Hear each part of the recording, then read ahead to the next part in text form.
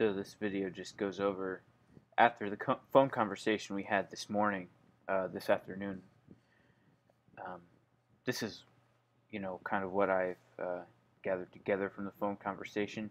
So we have the logo at the top, using the uh, the Nardi wheel as the logo, um, with more of a, a, cursive or script font to incorporate the name of the business. Uh, we switched to a darker layout with a a red and yellow kind of uh, color scheme. Um, then we still have the slider here, and then uh, on the side we have something similar to what um, is over on um, Beverly Hills. Then we have the social media icons here.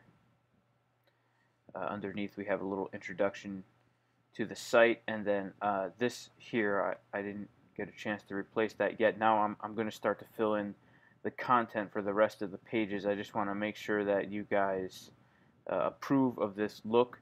If you want to change any of the colors, um, just let me know.